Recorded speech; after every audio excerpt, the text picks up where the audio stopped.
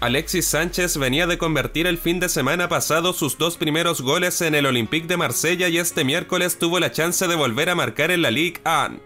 Es que el delantero chileno, quien fue titular por cuarta ocasión consecutiva, falló un penal. Aunque el elenco fosense derrotó por 1 a 0 como local al Clermont por la quinta fecha de la competencia para seguir en la cima.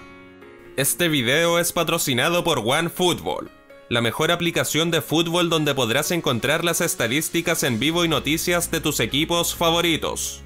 Además es una aplicación 100% gratuita disponible para Android y iOS. Ya sabes, descarga OneFootball con el link que te dejo abajo en la descripción del video. Este video llega gracias a OneXBet, la casa de apuestas más confiable del mundo.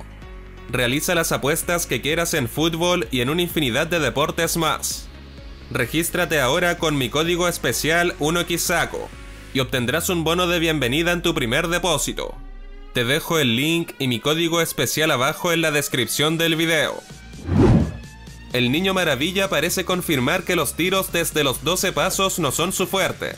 Más allá del histórico picotón contra Argentina en la definición de la final de la Copa América 2015, es que los números de Alexis entre penales convertidos y desperdiciados ronda apenas el 31% de efectividad.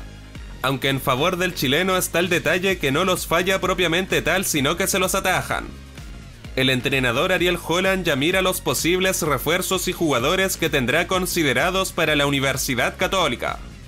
En esa línea el técnico argentino se refirió a dos posibles regresos en conferencia de prensa como lo son los delanteros Alexander Aravena y Bruno Bartichotto quienes están a préstamo en Ñublense y Palestino respectivamente.